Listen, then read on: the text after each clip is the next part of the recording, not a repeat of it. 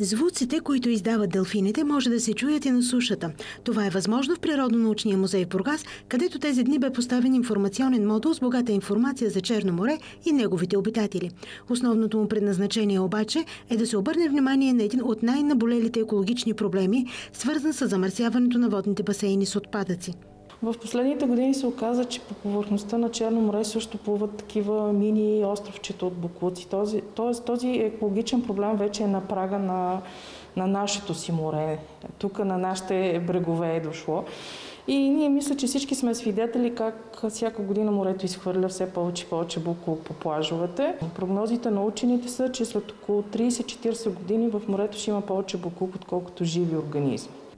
Проблемът засяга не само тези, които живеят край морето, но и хората от вътрешността на страната. Защото се оказва, че буклуците, пластмасовите опаковки за еднократна употреба всъщност стигат по морето, до морето най-често по носени от реките от при наводнения, при силни бури. Те, въпреки че са а, депозирани в сметище или хвърляни някъде на километри от морския бряг, те в крайна края ще се оказват вътре в морето. Затова специалистите са категорични, че борбата с това замърсяване трябва да започне на сушата с намаляване употребата на пластмаса.